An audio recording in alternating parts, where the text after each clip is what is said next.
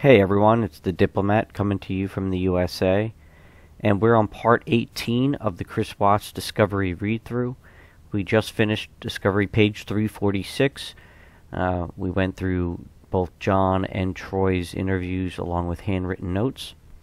And next we are going to go through interviews uh, with Luke, Chris's boss, as well as Melissa, who was on site that day uh, with them. So on page uh, 347, we just have a. Um, actually, this is uh, the 1A cover sheet uh, from Jones regarding the cell phone images that he took from Troy. So on to page 348, we have the FBI interview with Luke. Uh, this is date of entry August 21st, 2018. Luke was interviewed at his place of employment, Anadarko Petroleum Corporation, 501 North Division Boulevard, Platteville, Colorado. Agent Greg Zentner, Colorado Bureau of Investigation, was also present during the course of the interview. After being advised of the identities of the interviewing agents and the nature of the interview, Luke provided the following information. Luke is Christopher Watts' direct supervisor, and he has been Watts' supervisor since approximately April 2016.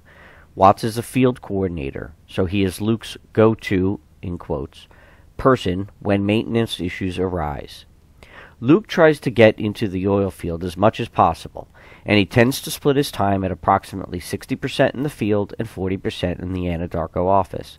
Luke is essentially the foreman for Anadarko sites spanning between U.S. Highway 85, Weld County Road 22, Cervi Ranch, and Denver International Airport. Luke described Watts as quiet and a great employee. Watts has never had any issues about showing up to work or being on time. Watts' children have had some health issues, but Watts has always called Luke to advise him if he needed to take time off to tend to his children. Watts is an introvert, and he does not like attention. He does not get excited, but since the di- disappearance of Watts' family, he has appeared on edge, in quotes, and flustered. Watts told Luke that he had nothing to hide, in quotes, and he had moved his work truck away from his house in order to protect Anadarko from any media attention. Luke does not believe Watts has any family in Colorado, and Luke is not familiar with any Watts friends. Luke believes Watts moved to Colorado because he and Shanann visited on vacation and liked the state. Luke is not aware of any with grievances against Watts or his family. Luke has no reason to believe anyone would jeopardize the safety of Watts' family. Watts had scheduled time off from July 31st through August 7, 2018, in approximately June 2018. Watts returned to work on August 8th and 9th, and he took August 10th off. Watts is currently working Monday through Friday shifts, which he has worked for approximately the past year. A typical shift begins at approximately 6 a.m. or 6:30 a.m. and ends at 3 or 3:30 p.m. An employee's shift begins when the employee arrives at either the office or the work site, and this is largely based on an honor system. Employees input time information into an online time card. Watts does not work weekends. Watts does not generally discuss his personal life, to include his wife, with Luke, and he generally does not talk much. Luke and Watts do not associate with each other outside work. Luke considers an employee's personal life to be personal as long as it does not affect work performance. Luke was aware that Watts was having some marital issues, but he was not aware of specific details. Luke last physically saw Watts on or about Thursday, August 9, 2018. After Watts' family was reported missing, Watts told Luke that he may be staying with a friend in the event Luke saw unusual activity on his work truck's geotab monitoring. Luke explained that Watts was aware that his truck had GPS monitoring that was tracked by Anadarko. Work trucks can be used for minor deviation to and from work, and Watts told Luke that he would not be staying too far from his home address. Luke explained that Geotab pulls location data approximately every 5 to 100 seconds. Geotab documents other information such as when the vehicle is turned on or off. Anadarko switched to Geotab from another provider in approximately May or June 2018. On Monday, August 13, 2018, Watts went directly from his home to Cervi Ranch 319 with follow-up work at Union Pacific Railroad Company, UPRC, 1029. Luke is not sure when Watts actually arrived at Cervi 319. Luke generally arrives at the Anadarko office around 6 or 6:30 a.m. and he saw Chad and Melissa at the office at approximately 6:30 a.m. on Monday. Luke believes that Watts posted on GroupMe that he was at Cervi 319. Maintenance at Cervi 319 and UPRC 1029 on Monday the 13th was basic routine stuff in quotes. Watts and the other operators were troubleshooting a line at Cervi 319 which should be easily accomplished. Operators would have a checklist to follow that would likely take a couple of hours to complete. This would involve isolating the problematic line in order to repair it. Cervi 319 and UPRC 1029 are not monitored by video or any other method of access control. Watts left the batteries in the early afternoon. Watts called Luke and told him something to the effect of, in quotes, I can't get hold of Shanann. She's not home, and she should be there. Luke heard from Watts via telephone again later Monday. Luke's superintendent had asked Luke how Watts was doing, and Luke requested an update from Watts. Watts explained that his wife's wallet, purse, keys, and identification card were at his house. Watts had gone to his neighbor's house and asked to review the neighbor's security camera. Watts noted that he had not seen any activity except when he got into his work truck in the morning and departed for work. Watts had discussed returning to work with Luke.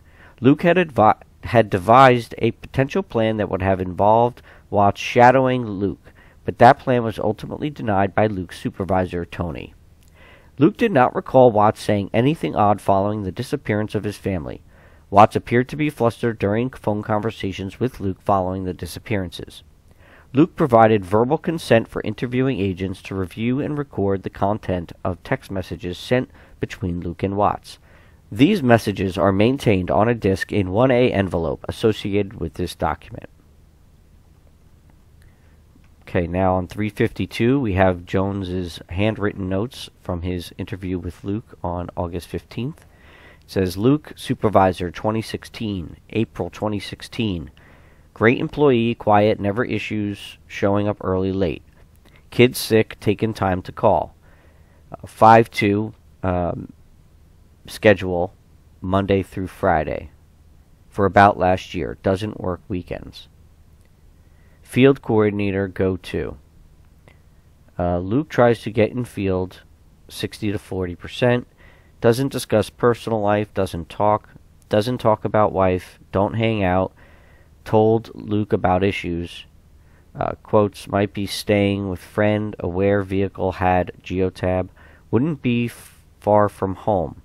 Truck for limited personal errands, went straight to field, Cervi Ranch, Cervi uh, something federal, Cervi Federal 1029, UPRC 319. Uh, Union Pacific Railroad, CR22 North, DIA South, uh, something 85, Cervi and Prospect. Uh, Foreman starts 6 6:30 a.m. to 3:30 or 3.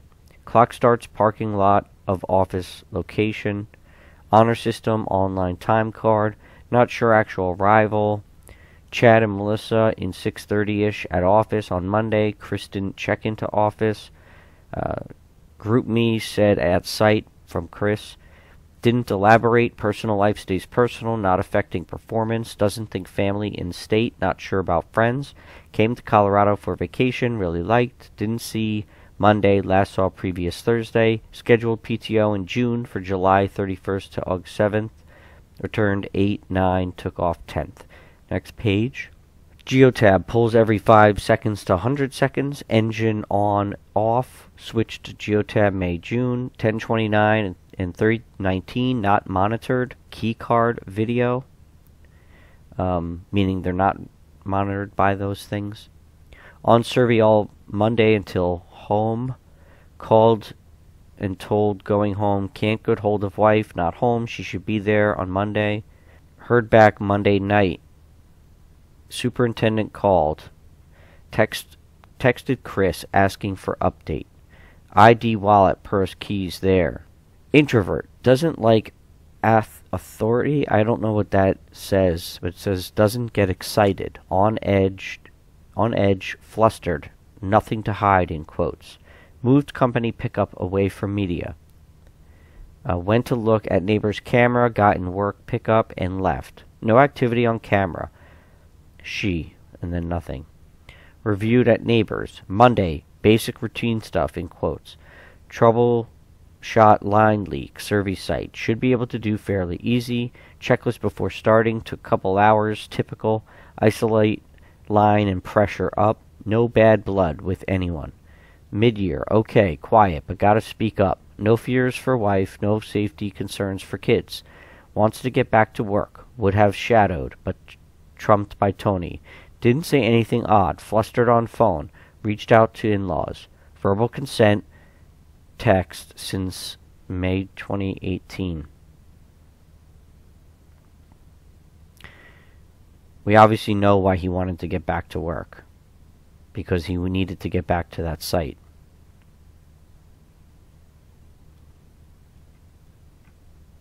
It's got to be why. Okay, now we have uh, just another uh, physical 1A, 1C cover sheet. This is regarding uh, the cell phone images um, from uh, Jones, and I assume those uh, images are elsewhere. That's of the text messages with those folks and Watts. Okay, on page 356, we have a, another FBI interview. This time is with Melissa, who was on site that day, uh, also an Anadarko employee. August 21st, 2018 is date of entry. Melissa was interviewed via telephone. After being advised of the identity of the interviewing agent and the nature of the interview, Melissa provided the following information. Melissa began employment with Dar- Anadarko as an operator in approximately May 2018. She met Christopher Watts toward the end of June 2018, and she is on the same Monday through Friday shift as Watts. She generally sees Watts about once a week during the course of her training in the oil field and at the office. Melissa is aware that Watts is married with kids. She knew that Watts' wife was recently out of town. Watts talked about his daughter with Melissa on occasion, and his daughters seemed to be, quote unquote, his world. Melissa described Watts as very knowledgeable, hard-working and easygoing. She never observed him complaining about family, home life, or other matters, and she observed him to joke a lot. Watt's nickname were the Silver Fox, due to his appearance, and quote unquote the Rain Man, due to his extensive work knowledge. The Silver Fox and the Rain Man. Melissa was not aware of any issues or troubles with Watt's family. She was not aware of any enemies, concerns, or fears about associates, family members, friends, or other individuals. On Monday, August 13, 2018, Melissa was assigned to work on Cervi 319 with Watts and Chad. Melissa and Chad arrived at the Anadarko office at approximately 6 a.m., and they left the office around 7.45 or 8 a.m. Chad and Melissa drove together, but in their own work trucks. They stopped along the way at the quote-unquote Bat Cave, to try to find some parts for work, but were unable to locate the necessary items. Melissa believes that she and Chad arrived at Cervi 319 at approximately 8:25 a.m., but she referred Ryder to the GPS data on her work truck for an actual timeline. Watts was already at the site when Melissa and Chad arrived, and she was not sure how long Watts had been on site. Watts had a shovel, and he was digging a small hole near an oil, oil tank. Melissa believes the hole was approximately a foot wide and six to eight inches deep. If you have any more information on this hole that he was digging, I'd appreciate that um, if you commented. Alright, page 356.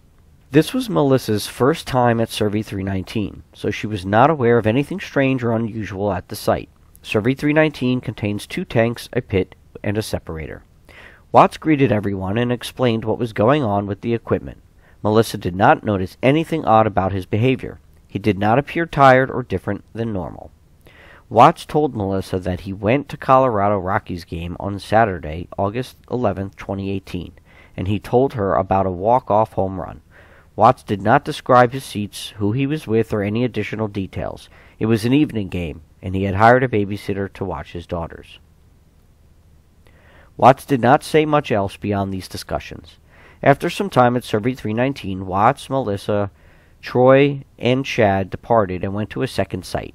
At some point, while at the second site, Watts to, went to a truck to take a call. He did not explain the content of, of the call to Melissa. Melissa observed that the bed of Watts' pickup truck was full of equipment, but she did not observe the interior of the cab.